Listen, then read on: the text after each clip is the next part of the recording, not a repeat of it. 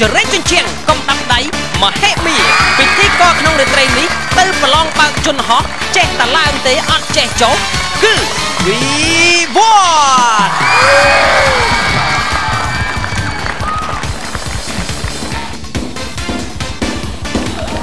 ជើងហោះហើរលេខ200ជាងហោះហើរដោយ pilot ឈ្មោះវិវត្តហើយអ្នកជិះក៏វិវត្តយន្តហោះមួយគ្រឿងជិះតែឯងបាទគ្មានជំពាក់លុយអ្នកណា បានមកដល់ហើយស្ដៃវៀនលបែងជ្រែកជញ្ជាំងកណ្ដាប់ដៃមហេមា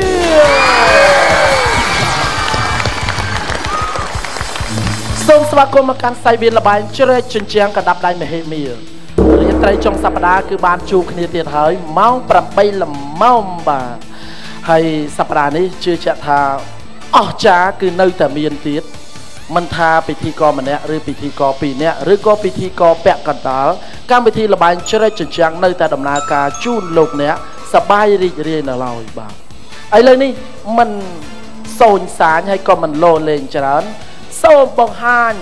ជើងខ្លាំងដែលមកអង្រួនសៃវៀនលបែងជ្រែកជញ្ជាំងយើងនារាត្រីនេះនោះគឺបង្គោលខៀវ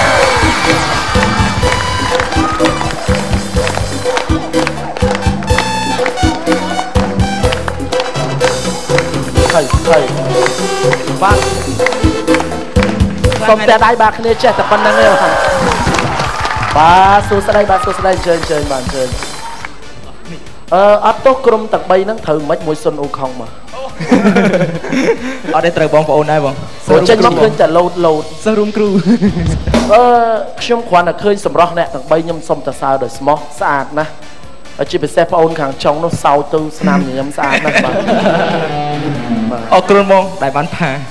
អត់ទេសរសើរដោយស្មោះគ្រាន់តែឃើញសម្រស់អ្នកទាំង3ខ្ញុំនឹកទៅដល់ខ្មោចលោកតាដែលចេះលេងសៀកឥឡូវបងប្អូនតើគ្នាចាំមើលណានេះមករៀមដៃមួយជាមួយខ្ញុំលេងសៀកឲ្យមើលបាទមករៀមដៃមួយបន្ទាប់មកខ្ញុំគ្រាន់តែដាក់ចុកក្រោមលើកឡើងវិញចេញពីរមែនទេបាទបាទអត់ទាន់អស់ចាទេប៉ុន្តែជាមួយខ្ញុំដាក់នេះមករៀមដៃមួយបាទសូមមើលច្បាស់ ហើយនេះក៏មករៀមដៃមួយដែរមែនទេបាទចាំមើលមើលសុំមើលច្បាស់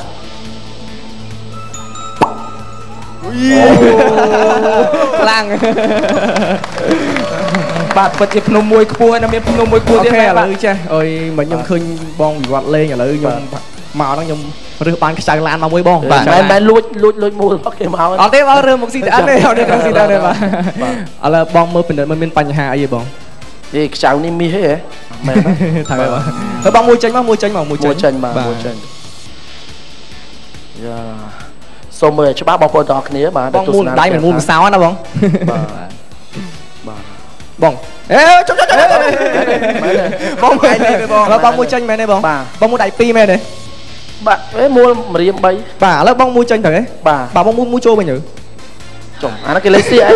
បាទបាទបងមួយចូលវិញសិនទៅបាទអូ បងគាត់គាត់ចង់ថាបងមូដៃ2បាទណាមើលចង់បោកសូមមើលម្ដងទៀតកូនឥឡូវខ្ញុំមួយចូលវិញបាទចុំអាហ្នឹងគេលេងសៀកមែនវិញមួយចេញចេញអាមួយចូលចូលដែរវិញបាទបងឯងពិតជាខ្លាំងក្នុងចំណោមអ្នកខ្សោយមែនបងបាទអូខេអើយឥឡូវចុះបងខ្ចៅមិញបងមួយដៃពីរត្រូវទេបងបាទបាទហើយបើសិនជា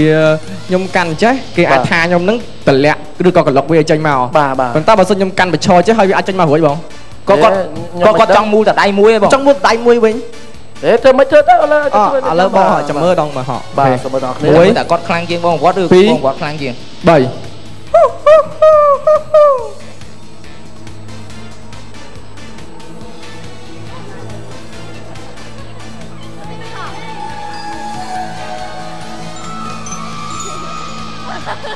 អូហូមកមកអូខេមិនដែរបង អេវាមិនដែលអឺបងមួយចូលម្ដងទៀតអញ្ចឹងទិញមិនអស់ចិត្តណាមកបងអីមកជុំមកជុំមកឡើងមកឡើងមកហ្នឹងហើយឡើងមកអូខេឡើងមកឡើងមកឡើងឡើងឡើងឡើងមកបាទអូយបងស្អីមួយមកបាទមើលអូនឯងមូលហើយបងមើលបាទហ្នឹងហើយបាទឥឡូវបែរទៅដៃអូនឯងយើងចំណាប់ជាងបងតិចបាទមើលមូលណាឲ្យសាកសីទាំងអស់គ្នាបាទហ្នឹង មូលអាចធ្វើដូចគាត់បានទេមូលអាចធ្វើធ្វើចឹងមើលធ្វើចឹងមើលកាន់កាន់ចឹងណាបាទអ1 2 3ណែស្រីស្រីអ្នកកាន់ណាអត់ចាញ់អូខេឥឡូវកាន់ចេញវិញកាន់ដៃចេះណាបាទកាន់ទៅកាន់ទៅកាន់ដល់ឆ្វេងហ្នឹងហើយកាន់ទៅកាន់លាចេះបាទណាអូខេបញ្ឈរអូខេបាទ1 2ចង់ដឹងថាបងស្រីបីពូបានអត់បាទ បាទមើលមើលបងវត្តតើធ្លាក់ទៅណាអីយ៉ាអីយ៉ាអីយ៉ាអីយ៉ាអឺអីយ៉ាអីយ៉ាអឺចាក់ដៃមើលបានបាទបាទអរគុណស្មានតែខ្លាំងលោកអើយឡើងមកដូចតែគ្នាណាអេបងមិនខ្លាំងណាស់គេជួយកាន់តែតែមិញអឺ ថាដៃខ្ញុំទៅវាមិនប្រកែអាខាងពូតខាងរឹតខាងមូលហើយពឹងប្អូនស្រីនោះនៅចាញ់គេទៀតបាទបាទឃើញថាថ្ងៃនេះអស្ចារ្យមែនទែនសម្រាប់កម្មវិធីលបែងជ្រែកជញ្ជាំងមានបងប្រុសបែនដែលជាប្រធានក្រុមដឹកនាំកូនក្រុមចូលមកសិតតែសមត្ថភាពពិសេសពិសេសសូមជួយណែនាំឈ្មោះជូនផងបាទ បាទអើយខ្ញុំឈ្មោះ Yano ជាក្រុមចម្រៀង Definite នៅអើយបាទផលិតកម្ម FX Entertainment ជំរាបសួរបាទខ្ញុំឈ្មោះថៃជាសមាជិកក្រុម Definite ជាមួយនឹងយ៉ាណូដែរបាទហើយនៅក្នុងផលិតកម្ម FX Entertainment ហើយចំពោះខ្ញុំបាទបែនអត់មានក្រុមចម្រៀងអីគ្រាន់ជាអ្នកសារព័ត៌មានមួយបាទនៅប្រចាំកសែតកោះសន្តិភាពអូជាអ្នកកសែតបាទជាអ្នកកសែតបង ថ្ងៃនេះមិននឹកស្មានថាមានអឺបេក្ខភាពដែលអស្ចារ្យយ៉ាងនេះសោះបាទកម្រណាស់កន្លងមកយើងធ្លាប់ឃើញតែសិល្បៈដែលចូលរួមលេងហើយនឹងអឺសាមញ្ញជនយើងទូទៅសាធារណជនប៉ុន្តែថ្ងៃនេះបានអ្នកសរសេរកសែតចូលមកលេងបាទសង្ឃឹមថាមិនសរសេរបរិហារទេបាទអត់ទេបងអត់ទេគ្នាហើយបាទលើលេងប៉ុណ្ណឹងចោះសង្ឃឹមតែឈ្នះហើយណាអីឈ្នះបងឈ្នះបងឈ្នះបងបាទឈ្នះចាញ់យើងមិនទាន់ដឹងទេតោះសួរក្រុមមួយទៀតសិនបាទគាត់គាត់តែឃើញតែម្នាក់នេះចេះលេងសៀកបាទម្នាក់មួយទៀតនេះ ពូកកម្ពូរងបាទហើយខ្ញុំបានកម្ពូតសេបាទបាទរឿងអីចាញ់គេកាត់បងអូលើឯចំណែកខ្ញុំនេះគឺបាតពិធីករបាទពិធីករបាទឥឡូវនេះសូមបង្ហាញជើងខ្លាំងមួយក្រុមទៀតគឺក្រុមពណ៌ក្រហម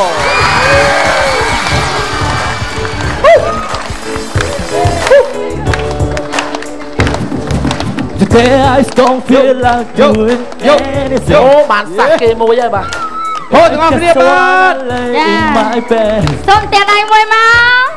Don't feel like picking up my phone to leave a message at the town Cause today I swear I'm not doing anything Woo, uh, Yeah yeah I'm gonna keep my feet up and stare at the rain Turn the TV on to my head in my face Nobody's gonna tell me I can Woo.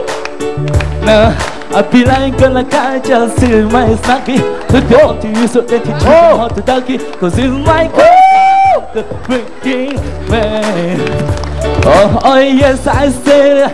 I still, I still cause I care Yeah, yeah Today I don't feel like doing anything Yeah Oh, I just wanna lay in my bed. Oh my God! Somehow I suppose something my bed! ងសក់ពឺមួយបាទ The little man sang at the top Cause today I swear I'm not doing anything Yeah, nothing at all Yeah, yeah Nothing at all, yeah សុខសប្បាយទេបាទអរគុណអរគុណបាទជម្រាបសួរជំរាបសួរដល់បាទបងវិវត្តបាទចាលោកជម្រាបសួរបងសាលបាទបៃលក្ខណាចាបងហើយលោកជីវ័នហៅ សែមហៅអីអូឈ្មោះច្រើនណាស់ អសូមជម្រាបសួរបងប្អូនជម្រាបសួរ នឹងនឹងបា អ ទ សូមសូមអបអរសាទរខ្ញុំមួយអរគុណ អឺសូមជម្រាបដល់ក្រុមតាពីផងដែរថាធ្លាប់បានទស្សនាកម្មវិធីលបែងជ្រែកជញ្ជាំងកណ្ដាប់ដៃមហេមាបច្ចុប្បន្ននេះគឺមិនដូចពីមុនទេ បាទ ហើយអាទិត្យនេះក៏មិនដូចពីអាទិត្យមុនដែរសូមជម្រាបផងដែរថាលក្ខខណ្ឌនៃការលេងលបែងជ្រែកជញ្ជាំងរបស់យើងមុននឹងคลายទៅជាម្ចាស់ជើងឯកនៃសាយវៀនសម្រាប់សប្តាហ៍មួយមួយ គឺតោងទៀមទាឲ្យបេក្ខជនទាំងឡាយមានសមត្ថភាពប្រឈមចំពោះមុខកណ្ដាប់ដៃមហេមាតើកណ្ដាប់ដៃមហេមាជាអ្វីវាជាអ្នកកាត់សេចក្តីម្នាក់ដែលសម្រេចថាយើងបានលុយឬអត់អេអេមណាស់បាទប៉ុន្តែមុននឹងជួបកណ្ដាប់ដៃមហេមា យើងមាន3ទឹកកម្ដៅសាច់ដុំសិនសម្រាប់វគ្គទី1នេះ គឺជញ្ជាំងរួមមិត្ត ជញ្ជាំងរួមមុតដូចយើងបានជ្រាបស្រាប់ហើយគឺតម្រូវសម្រាប់ទាំងក្រុមតែម្ដងចូលរួមលេងប៉ុន្តែបន្ទុករៀងខោចបន្តិចសម្រាប់ការកៅឆាយនេះត្រឹមតែ10បន្ទុកប៉ុណ្ណោះមិនដឹងថាក្រុមណាទៅមុនបាទឲ្យខៀវចុះញ៉ែប៉ិនតិចតួចអីវិនយើងឲ្យគេទៅបាទបាទប៉ណ្ណឹងអីវិនខៀវយល់ព្រមមកខៀវយល់ព្រមច្បាស់ហើយណាបាទច្បាស់ហើយអត់មានចេញទៅទៅសេកសែតអីណាថាគេបង្ខំមកឡើងទេណាខៀវធ្លាក់ទឹកខៀវធ្លាក់ទឹកខៀវធ្លាក់ទឹកខៀវធ្លាក់ទឹកត្រៀមហើយក្រុមខៀវ សូមទៅកាន់ទីតាំងបាទ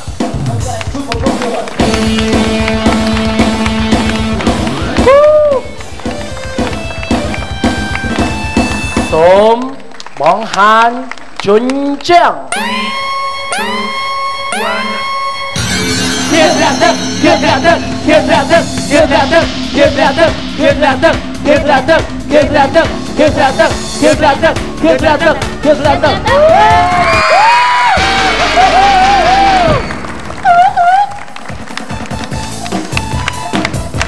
យកយកយកអីគ្រឿងត្រាក់ទឹកគ្រឿងត្រាក់ទឹកធ្វើអីបើមិនធ្លាក់ទឹកអើមកមកផឹកអត់ធ្វើអីធ្វើអីបើមិនធ្លាក់ទឹកគាត់ឈ្មោះថាថៃអូថៃហ៎អាថៃដេករួចហើយលបងបែនឈរនិងលបងមួយទៀតគឺឈ្មោះថាលបងចាណូអញ្ចឹងឈរដូចគ្នាដល់ពេលឈរឈរទៅធ្លាក់ទឹកទាំងពីរនាក់ទៅមានអីទៀត មើលទៅយ៉ាណូហាក់ដូចជាទុនជើងក្រោមអាយ៉ាអេអេអាយ៉ាអីប្រងតែម្ដង ចំណែកលបងបែនវិញហេសម្រស់នោះគឺគ្មានពីរទេធ្លាក់ទឹកអង្គគេដែរ អ្នកដែលសោយសុខជាងគេគឺថៃសបាយចិត្តទៅណាអ្នកដែលនាំវិនិច្ឆ័យគឺអ្នកទាំងពីរនោះទេអញ្ចឹងយើងអត់ខុសទេនៅលើគុកតើណាអញអ្នកទាំងពីរធ្លាក់ទឹកដឹងថាធ្លាក់ទឹកអីណាសួរទៀតអូយតាមពិតទៅបងភានៅក្នុងចំណោមនឹងណានោះអូនចាប់អារម្មណ៍ម្នាក់ឯឈ្មោះបេនអីនោះមកអូយមួងខ្ជូតបាទតើសើបងប្អូនប្រុសថៃឯង ចេះផ្កាប់មុខឲ្យលើកជើងមកចាហៀងត្រូវទៀតលើកទាំងពីរត្រូវទៀតបាទតសើមែនដោយស្មោះតែពីរនាក់ក៏តសើដែរបើព្យាយាមធ្វើតាមកាយវិការខ្ញុំភ័យណាស់មិញស្មានតែបងឯងអីបូតដៃអាលាយស្នោខ្ញុំស្មានតែមិញភ័យដែរភ័យខ្លាចថាបូតអាលុអាលុបអឺឈូខ្ចៅអស់មិញបាទជូនបន្ទុកតាមហ្នឹងណា10មិនបានទេជូនលើកទឹកចិត្តមួយបន្ទុកបាទ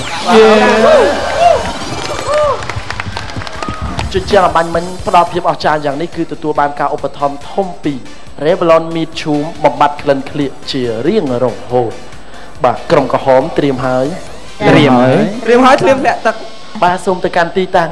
យេសូមសម្លេងហោមួយមកខៀវហងធ្លាក់ទឹកហងធ្លាក់ទឹកហងធ្លាក់ទឹកហងធ្លាក់ទឹកហងធ្លាក់ទឹក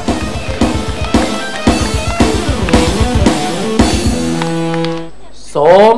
បង្ហាញ ជញ្ជាំងអើអើបងតាបងធ្លាក់ទឹកទៅសក់ទៅសក់ធ្លាក់ទឹ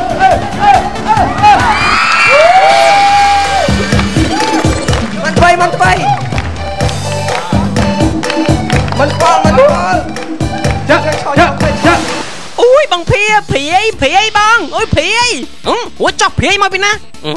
ស្ទាយសក់គេសោះហ្នឹងណាហ្នឹងគេហៅថាសំពងសក់ធំលបងជីវ័នលបងវិសាលនិងកញ្ញាពៅលក្ខិណាអាចូលបានល្អមែនទែនមើលទៅក្រុមក្រហមទាំង3នាក់ហាក់ដូចជាមិនទាស់ទំនងត្រង់ណាសោះដូចជាត្រឹមត្រូវច្រើន90%អញ្ចឹងពិន្ទុក៏ល្អទៅតាមនឹងដែរ អូយអ្នកដែលស្រួលជាងគេគឺបងវិសាលហើយនឹងនោះនោះពៅលក្ខណៈអីនោះអឺសងំចើបហ្មងអត់ដូចបងជីវ័នព្រាយសក់ធំអូនសោះឃើញហ៎ប្រវេប្របាស់ប្រវេប្របាស់ប្រហែលជាគូភឹមមកដល់ហើយមកទៅណែកំបែកចិត្តណាមិញខែងចាប់អារម្មណ៍លបងបែនតែអូយបើសិនជាអាចទេបនព្រះសភះទេវតាពីរក៏បានដែរបង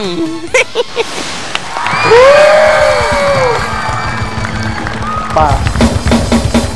រូបរាងយើងអាចនិយាយបានថាបានដល់រហូតដល់90%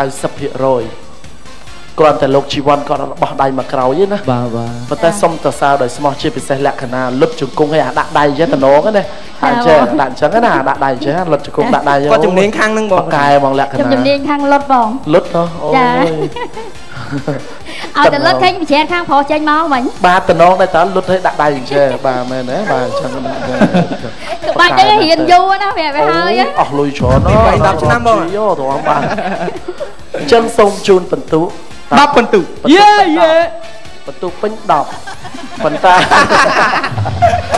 ប៉ុន្តែដកមួយចោះដោយសារអត់បានបោះដៃមកក្រោយណាបាទអរគុណអរគុណបាទដកដកដកមិនមែនដកមួយបន្ទុទេបាទ ដកពីរបន្ទុសល់8បន្ទុបាទយេយកអះយកអះយកអះ